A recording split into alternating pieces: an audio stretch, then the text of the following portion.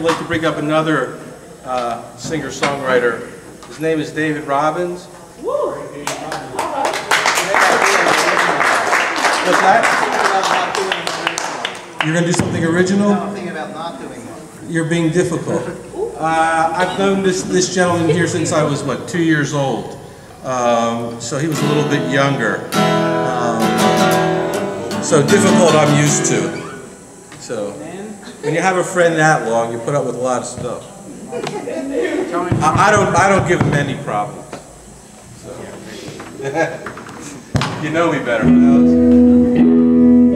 What are you gonna do, Dave?